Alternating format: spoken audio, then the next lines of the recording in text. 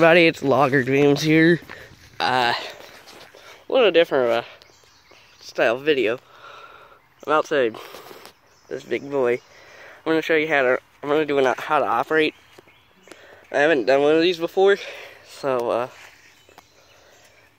bear with me and uh, let's go. Get them. All right, let me first hop up on the platform here. Here's steering wheel. It's a little bit lower down. I'm blurring that out, so because I do have it up in there. This here, let's scratch that. This here is your here. There was a horn there connected, but the horn fused blue, and I just disconnected the horn. This here is your PTO switch, throttle. Now, unlike the current like X700 series, X500, X300 that had the twin touch, that that's your steering brakes. I'm do that. I don't want to undo it. It's just your brakes.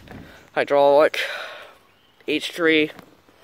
Thank God this thing is a this little lever here operates your motor deck.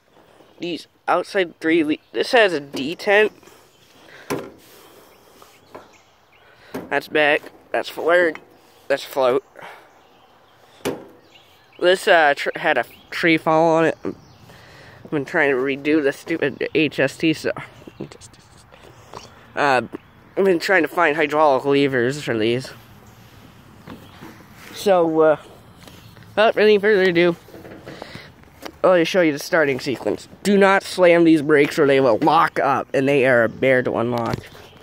So, let's go ahead and start her up. Contact. Alright, you at here is your throttle.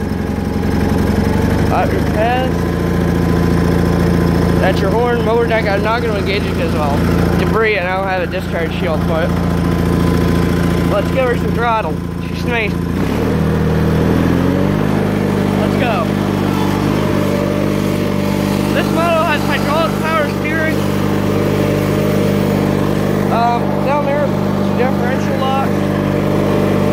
I'm not throttle the guys RPMs down so you can hear me.